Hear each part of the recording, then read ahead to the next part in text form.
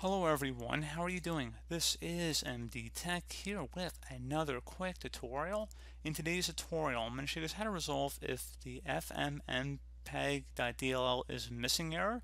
And it says that this program can't start because ffmpeg.dll is missing from your computer. Try reinstalling the program to fix this problem.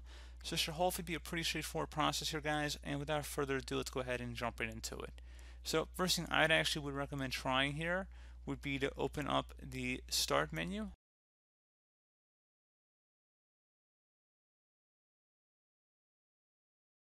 Type in CMD, best result come back with command prompt. Go ahead and right click on that and select run as administrator.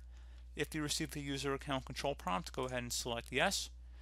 Now into this elevated command line window, you want to type in SFC followed by a space forward slash scannow. Scan out shall be one word attached to that forward slash out front. Hit enter on the keyboard to begin the system scan. Will take a couple minutes to run for most of you guys, so just please be patient here.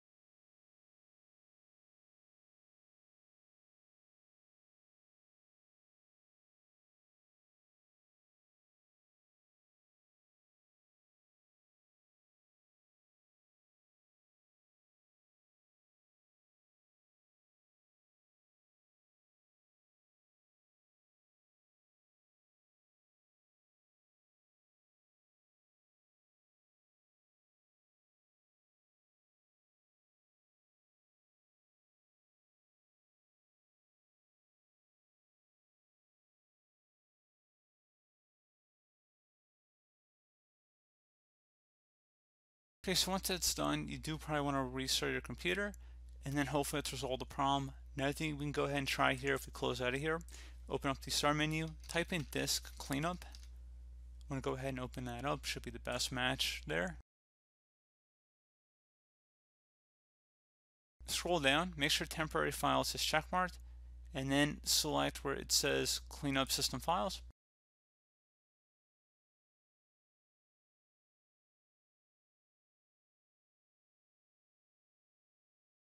And like I said, go down again, temporary files, make sure that is checkmarked in there.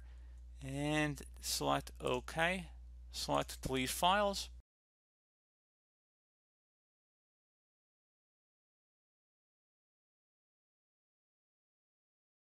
And there you go guys, hopefully it should be that simple. And that should be about it. So as always, thank you guys for watching this brief tutorial. Do hope that I was able to help you out, and I do look forward to catching you all in the next tutorial. Goodbye.